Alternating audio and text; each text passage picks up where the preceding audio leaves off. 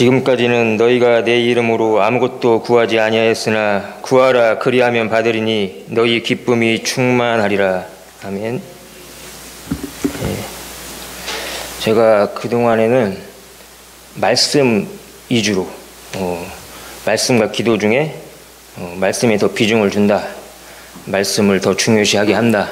어, 만약에 뭐 누군가가 물어본다면 굳이 말씀과 기도 중에 하나를 고르라고 한다면 어, 말씀을 좀 더 앞에 둔다 이런 설교를 많이 했죠. 어, 근데 이 말은 어, 기도를 그렇다고 무시하는 건 절대 아닙니다. 어, 우리 그리스도인들에게 기도가 빠지면은 뭐, 안, 뭐 안고 없는 찐빵 뭐 이런 게 되는 거죠. 어, 우리들의 강력한 무기는 막강한 무기는 기도라고 생각을 합니다. 우리 그리스도인들이 결코 기도를 등한시할 수가 없죠. 어, 바울이 빌보 지역에 갔을 때 어, 기도처를 먼저 찾았어요. 어, 그것은 어떤 지역에 갔을 때 어, 가장 중요시하게 여기는 어, 기도를 그만큼 중요시하게 여겼기 때문에 기도할 것을 먼저 물색한 겁니다. 조용한 곳으로. 어, 그런 것을 보면 바울도 기도를 굉장히 중요시하게 여겼다는 것을 알 수 있습니다. 구약의 선지자들도 모두 다 기도의 사람들이었죠. 어, 가장 위대한 선지자로 꼽히는 엘리야. 그의 기도도 어, 아주 유명한 기도가 있죠.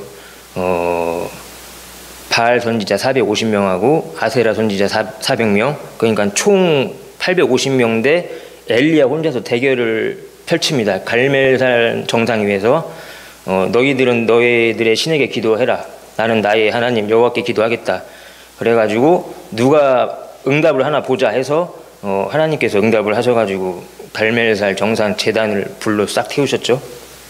그 대결이 끝난 뒤에 어, 그때 상황이 이제 3년 6개월 동안 가뭄이었어요. 그래가지고 그 대결이 끝난 뒤에 엘리야가 기도합니다.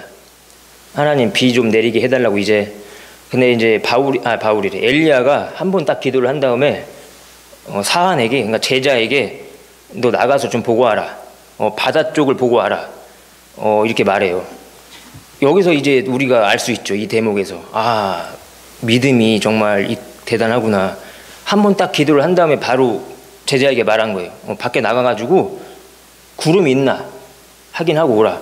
근데 어, 없었는데 어, 일곱 번 정도 만에 이제 바다에서 조그만 구름이 이제 몰려오기 시작했어요. 그리고 이제 비가 내렸죠. 아 여기서 이제 우리는 주목을 할 수가 있습니다. 알 수 있습니다. 딱 한 번 기도하면 엘리야는 그걸 믿었구나. 어 당연히 하나님께서 이제 비를 내려주실 거야. 어 그렇게 이제 자신이 있으니까 야 나가서 보고 와 이렇게 한 겁니다. 그리고 야베스의 기도도 유명하고 어, 수명을 15년 연장시킨 히스기야의 기도도 유명하죠.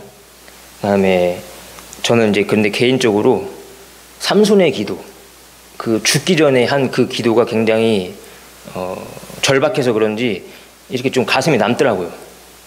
삼손이 어, 델릴라라는 여자에게 그 창녀에게 자기 약점을 고백을 해가지고 머리가 깎인 다음에 힘이 빠져가지고 어, 이제 잡혀가지고 뭐 눈도 막 그 뽑아가지고 맹인돼 가지고 감옥에 갇혔죠. 그러다가 이제 좀 세월이 지나서 어, 기회가 찾아옵니다. 어, 블레셋에 어떤 뭐 좋은 집으로 보이는데 그 집에서 잔치를 베풀면서 사람들이 삼손을 데리고 오라. 어, 이제 놀림거리로 어, 조롱거리로 삼으려고 그때 이제 삼손이 어떤 소년에게 도움을 받아서 두 기둥을 사이에 서서 두 기둥을 잡습니다. 그리고 하나님께 마지막으로 한 기도가 있죠. 여호와여 한 번만 나에게 힘을 주소서. 어, 내 두 눈을 뺀 원수들과 어, 내가 그 원수를 갚아야 되겠습니다. 이 사람들과 내가 같이 죽길 원합니다. 해가지고 딱 기도한 다음에 힘을 쓰니까 정말로 하나님께 도와주셔서 성전이 무너졌죠. 아 이게 저는 이 기도가 너무 사사기 16장 28절에 나오는 구절인데 이 기도가 너무 간절해서 그런지 되게 가슴이 남더라고요. 그 얼마나 복수하고 싶고 그랬으면 이 사람들과 내가 죽겠나이다. 나는 살려주고 이 사람들을 죽게 하소서가 아니라 어, 내가 이 사람들과 같이 죽겠나이다. 어, 이 대목 때문에 저는 이 기도가 되게 기억에 남아요. 그리고 무엇보다 다니엘 하루에 세 번 시간을 정해놓고 기도한 다니엘도 유명하죠. 그, 그 당시에 왕이 어, 법으로 다른 신에게 기도하지 말라고 법을 세웠습니다. 그냥 말로만 한 게 아니라 법을 세웠어요. 그러면 이제 보통 사람들은 못하죠. 어, 왕이 왕의 명령인데 어기면 뭐 어떻게 될 걸 뻔히 아는데. 어. 근데 다니엘은 하나님과의 약속이 더 중요하기 때문에 이런 뭐 왕들 이방 왕들 이런 사람이 중요한 게 아니라 하나님과의 그 약속이 중요하기 때문에 그것을 어기지 않고 역시나 세 번을 하루에 기도를 합니다. 그래서 결국 사자굴에 던져졌죠. 그게 그 유명한 사자굴의 사건입니다. 사자굴 사건. 그래서 이제 이런 것을 보면 아 다니엘은 목숨을 걸었구나 기도에 어, 사람과의 약속, 사람과의 사람이 세운 법, 규칙, 뭐 사람의 시선 이런 거가 중요한 게 아니라 하나님과의 약속을 정말로 목숨보다 더 소중하게 여겼구나. 그리고 그 기도에 정말 목숨을 걸었구나. 이것을 알 수가 있는 거죠. 뭐 결코 쉬운 게 아니었을 거예요. 요즘 시대로 치면 하루에 세 번 기도를 한다는 게 시간을 정해놓고 그러면 뭐 모임이나 사람을 만날 때 이럴 때가 분명히 이렇게 걸릴 때가 있을 거란 말이에요. 그 시간에.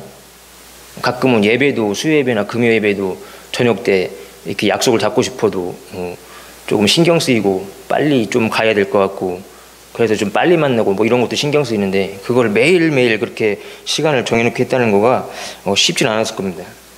저는 고민이 있고 이렇게 어려운 일이 있을 때 이제 그 찬양을 생각해요. 뭐 기도할 수 있는데 왜 걱정하십니까? 그 찬양. 그러면 좀 위로를 그러면 좀 위로가 되는 것 같습니다. 빌립보서 4장 6절에서 7절에 정말 너무나 멋진 구절이 있죠. 아무것도 염려하지 말고 모든 일에 기도와 간구로 너희 구할 것을 하나님께 아뢰라. 그리하면 모든 지각에 뛰어나신 하나님의 평강이 그리스도 예수 안에서 너희 생각과 마음을 지키시리라. 기도와 간구를 하면 들어주겠다는 말 대신에 기도와 간구를 하면 모든 일에 뛰어난 하나님께서 어, 그리스도 예수 안에서 우리의 마음과 생각을 지키겠대요. 지키겠대요. 아, 그래서 기도를 왜 해야 되는지를 또 알 수가 있는 거죠. 이 대목에서. 아, 뭘 들어주고 정말 막 원하는 거를 주셔서가 아니라 내 생각을 지키려면 기도를 해야 되나 보다. 어, 하나님께 어, 기도와 간구를 해야 되나 보다. 그래서 예수님께서도 겟센만의 동산에서 어, 로마 병정들에게 잡혀가기 전에 제자들에게 그러죠. 너네들 또 자냐? 한시도 깨울 수 없냐? 어, 깨워서 기도해라. 그 뒤에 말이 의미가 있, 습니다 시험에 들지 않게 기도하라고 합니다. 아, 기도하지 않으면 시험에 그러면 반대로 말해서 반대로 생각하면 아, 기도하지 않으면 시험에 들 수도 있나 보다. 어, 그 생각을 할 수밖에 없죠.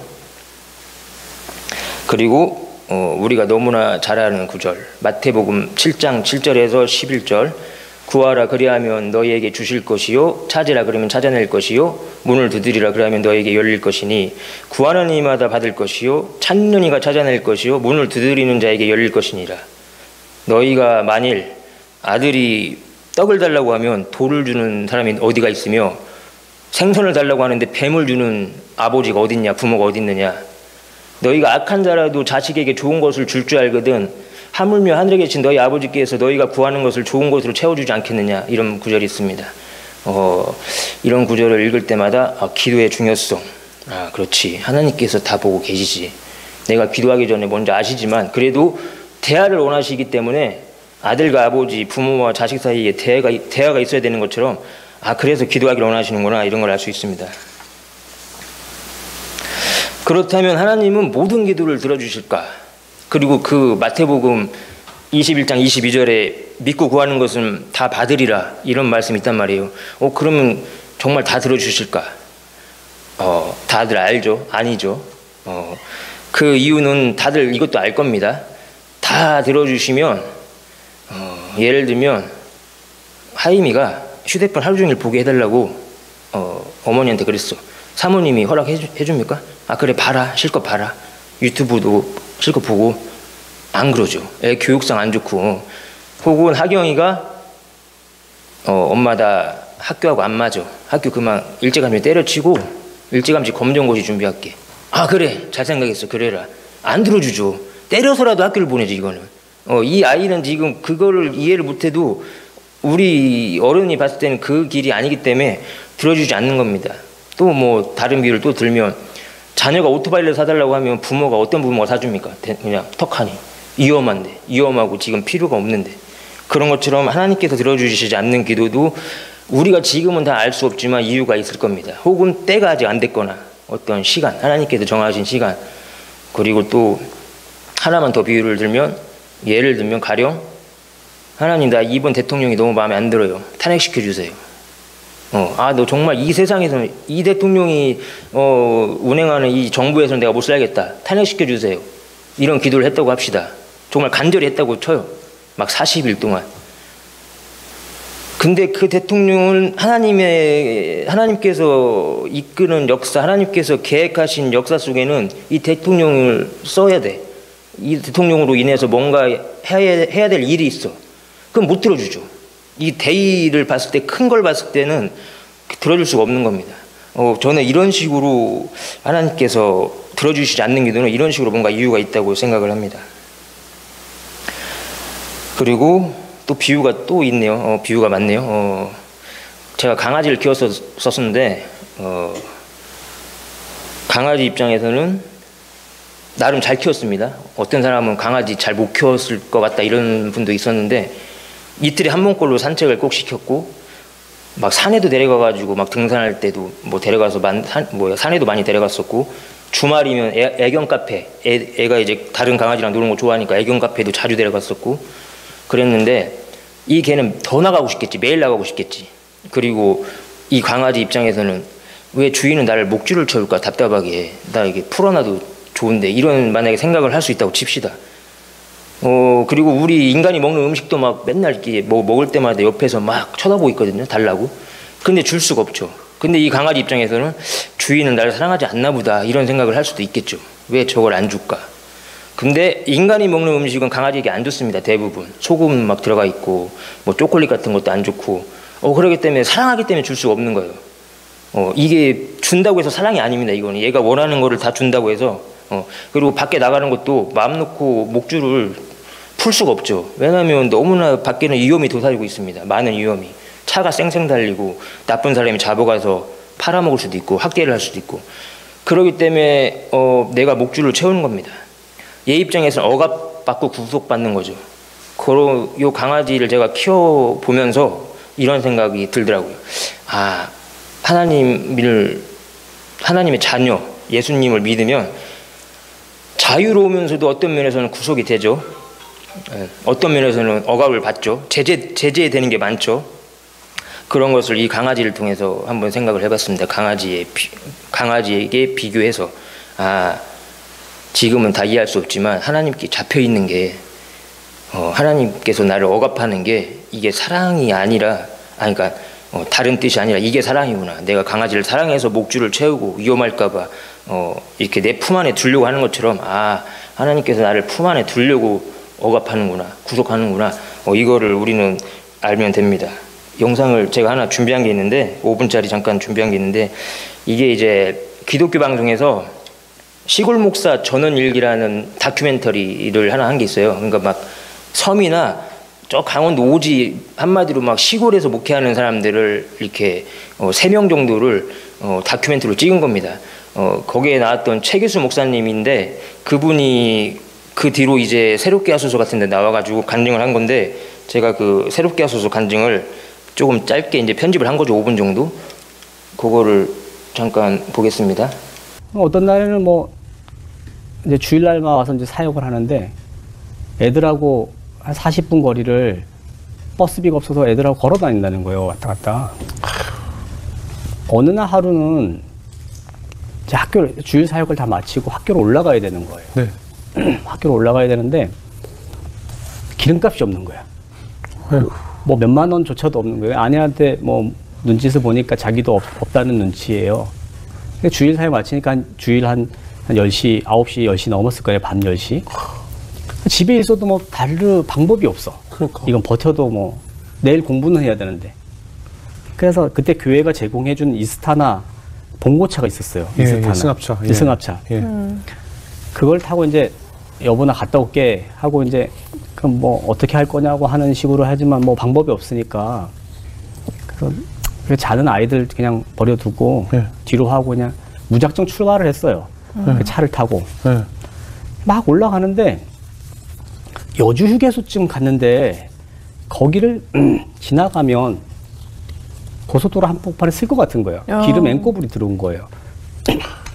그래서 여주 휴게소로 들어갔어요. 네. 들어가서 이제 가로등 있는 데서 차를 한, 한 대 대놓고 좀 그날 좀 추웠어요 날씨가 예. 뒷자리에 가가지고 이거 뭐 기도도 안 되고 그냥 눈물만 나는 거예요.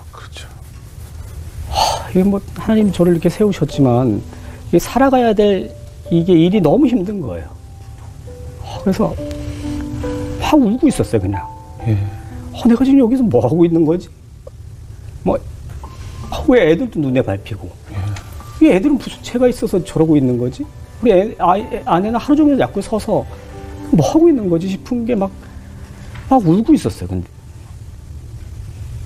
근데, 어, 차, 차를 이렇게 누가 똑똑똑똑 두드리는 거예요. 음. 그 밤에, 11시가 넘은 밤에. 오, 차를 똑똑똑똑 두드려요. 그래서 보니까 어떤 중년의 여성이에요. 나 이제 아주머니야. 그분이 이제 그 이스타나 차 옆에 교회에 이게 간판이 자석 이게 크게 붙여져. 있으니까 네. 뭔가 이제 뭐 교육장가 아닌가 싶어서 이제 뭐, 뭐 우는 소리를 들었는지 예, 예. 모르겠지만 어쨌든 두들겼어요. 그래가지고 이래 보니까 전도사님이세요 이러더라고요. 음. 그분이 예. 그래서 네 이랬더니 아이고 이 밤에 여기 왜 계시냐는 거예요. 그래서 제가 어, 기름 떨어져서 여기 있다고 말은 못하고 네. 차비 없다고 말은 못하고 그냥 가다가 피곤해서 좀 쉬려고 여기 서 안- 있다 그랬어요. 그랬더니 이분이 아 그러냐고 이러면서 다시 가시는 거예요. 네. 그래서 이제 울음을 끝이고 제가 뭐라고 얘기를 했냐면 기도처럼 이렇게 했어요. 하나님 저 너무 힘들어요. 하나님 저 너무 힘들어요. 저 좀 도와주세요. 하나님 저 좀 도와주세요. 그렇게 되뇌이고 있었어요. 도와달라고. 어, 그런데 아까 그 두드렸던 그분이 예. 다시 오셨어요? 다시 차를 두드리는 거예요. 예. 그러면서 손짓을 하시는 거예요. 그래서 뭘 건네시는데 5만 원을 건네시는 거예요. 아이고.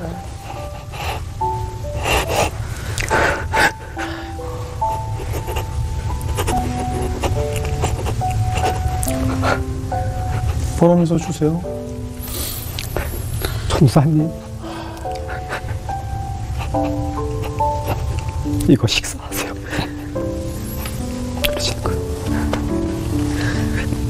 제가 그걸 받아들고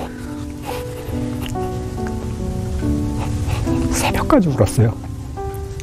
새벽 통이 들 때까지 하나님 하나님 나를 보고 계시는 거예요. 좀 전에 도와주세요. 저 너무 힘들어요. 했던 그 얘기를 하나님 들으신 거예요. 하나님 정말 어, 오묘하신 분 같습니다. 에, 그렇습니다. 하나님께서 저희를 보고 계십니다. 어, 저도 이런 경험을 뭐 몇 번 했고 여기 사역 나와가지고 이제 10개월 차 들어 들어섰는데 여기 와서도 이제 몇 번 정도 어, 이렇게 하나님이 어, 채워주신 거를 어, 경험을 했어요. 그러나 이제 뭐 그전에도 이런 뭐 하나님께서 도와주신 것 같다 이런 거를 다 말하려면 오래 걸리고 뭐 이런 간증을 어떻게 다 하겠습니까? 하지 않는 얘기도 많겠죠. 8월 1월 8월 달에 우리가 여기서 수련회 했잖아요. 그 한 일주일 전쯤에 제 신학대 동기 김동준 전도사라는 사람이 있는데 와가지고 저한테 그 하얀 봉투인가 하여튼 어, 5만 원짜리 두 개에 10만 원을 주더라고요. 어, 후원한다고 너한테 내가 너한테 후원하는 거니까 네가 알아서 뭐 개인적으로 쓰든 하여튼 교회에 헌금을 하든 어, 후원을 하, 이렇게 한다고 그리고 한달뒤 흘렀죠. 그러니까 지금으로부터는 또 한 달 정도 전이죠. 또 갑자기 제 계좌로 김동준 전도사가 10만 원을 보냈어요. 바로 전화를 했죠. 이 뭐냐? 어 갑자기 감동이 뭐 있었다. 그리고 네가 뭐 아이들한테 이렇게 막 그 아낌없이 퍼주는 것 같은데 어 너도 어려 어려운 것 같은데 가지고 그냥 보내고 싶었다. 어 이렇게 하더라고요. 아 그분이 정말 예전부터 도움을 많이 받았는데 돈 빌려달라고 한 적도 많고 예전에 회심하기 전에도 그러면 그 사람은 어, 얼마를 딱 빌려달라고 하면 5분도 안 걸려서 바로 입금을 해줍니다. 어, 물론 막 터무니없이 많은 금액이면 없다고 하거나 뭐 없을 수 있겠죠. 근데 자기가 빌려줄 수 있는 선에서는 빌려준 것 같아요. 그냥 아무 말도 없이 5분 안에. 뭐 그런 손길 그런 것들이 우리 하나님 믿는 그리스도인들에게는 어, 이분처럼 이분의 간증처럼 많이 일어나는 것 같아요. 엘리야를 까마귀를 보내서 그리 그리 시내가에서 먹이셨죠. 어, 히브리 민족을 광야에서 만나와 메추라기를 떨어뜨려서 먹이셨고 목이 마르면 반석에다가 반석을 쳐서 샘물을 어, 솟아나게 해갖고 먹이셨죠. 할아버지 할머니 꿈도 가끔 말했지만 어, 그러니까 하나님을 떠났다고 생각했던 그 시기에도 방황할 때에도 어려울 때 하나, 할머니 할, 그 할아버지 할머니를 꿈에 보내서 도와주시더라고요. 그래서 이거는 내가 너를 보내 너를 내가 도와준 게 맞다 이거를 증명하듯이 짧게만 말하면 한 50만 원 정도가 급하게 필요해. 어 그러면 새벽에 먼저 그날 새벽에 먼저 할머니가 나타나서 5만 원짜리로 보이는 노란 지폐를 이렇게 주고 갑니다. 어, 받죠. 꿈은 그게 다예요. 그러면 그 날에 50만 원이 생각지도 못한 곳에 들어와요. 공돈으로. 어, 사람을 통해서 들어오든. 어. 그래서 이제 그런 경험이 저도 많습니다. 어, 하나님이 정말 아 나를 보고 계시는구나. 어, 불꽃 같은 눈동자로 나를 지켜보고 계시는구나. 최기수 목사님이 말했지만 정말 기도인지도 모를 뭐 이렇게 혼잣말인지 어, 모르는 그냥 하나님 저 힘들어요. 어, 기도죠. 어, 강구죠. 예. 그렇게 했는데 저렇게 어떤 지나가는 사람이 왜 갑자기 돈을 주고 가냐고. 저런 간증을 하면 못 믿는 사람도 있어요. 그러면은 히브리 민족을 먹인 걸 어떻게 믿어요? 하늘에서 메추라기가 떨어진 거를. 어, 이걸 믿을 필요가 없죠. 저는 되도록 형식적인 기도를 피하려고 하는데 어, 안 하는 것보다는 형식적으로라도 하나님 앞에 무릎 꿇고 주여 주여 찾고 하는 것이 분명히 나을 겁니다. 왜냐하면 아까 말했듯이 기도를 하지 않으면 어, 기도의 줄을 놓아버리면 하나님과의 관계가 끊어지기 때문에 뭐 시험에 들 수도 있고 잘못된 길로 갈 수도 있고 많은 어려움이 있을 수 있죠. 저는 이제 어떨 때는 정말 기도가 안 나올 때는 그냥 어, 묵상하듯이 가만히 있을 때도 있어요. 어, 솔직히 그냥 맨날 했던 기도를 막 반복하는 거를 습관처럼 하는 것을 어, 좀 안 좋아하는 편이에요. 저는 이제 요새는 어, 하나님 말씀하소서 어, 종이 듣겠나이다. 뭐 이러고 그냥 가만히 한 10분 동안 가만히 있을 때도 있고 그러다가 물론 제가 이제 어, 요즘에 가장 이렇게 간절히 구하는 거 그건 하고 이제 끝내지만 주기도문을 한 10번 할 때도 있고 어, 그렇습니다. 성구영신 예배 때 제가 말씀을 드렸죠. 어, 첫날 여기 처음 왔을 때 어, 회심하고 나서 기도를 하면 하나님께서 10개를 기도하면 7, 8개를 들어주셨다고 어, 이틀 안에 3일 안에 늦어봤자 일주일 안에 정말 그때 어, 놀라운 거를 많이 경험했고 아 돌아온 탕자의 이야기처럼 집 나간 아들이 돌아오니까 아버지가 기뻐서 막 좋은 옷을 벗어주고 가락지를 끼워주고 제일 좋은 송아지 살찐 송아지를 잡아가지고 잔치를 베풀잖아요. 아 그 심정이라고 생각이 들더라고요. 하나님이 아 뭐 그냥 탕자가 돌아오니까 회심을 하니까 어, 좋으신가 보다. 그래서 그때 정말 어, 기도에 하나님께서 들어주신 기도를 많이 체험했습니다. 세상이 험하지만 우리가 이제 무엇을 뭐 걱정하겠습니까? 우리에겐 기도가 있는데 가장 막강한 무기 기도가 있는데 어, 죽은 자를 살리신 예수님이 나의 구세주고 홍해를 가르신 하나님이 나의 하나님이십니다. 아버지께서 우리가 필요한 것을 미리 다 아시고 항상 채워주실 줄 믿습니다. 아까 말했듯이 만약 들어주지 않는다면 그것도 하나님의 또한 이유가 있으니까 하나님의 뜻이 있으니까 감사하면서 항상 기도하는 삶을 살았으면 좋겠습니다. 예, 기도하겠습니다.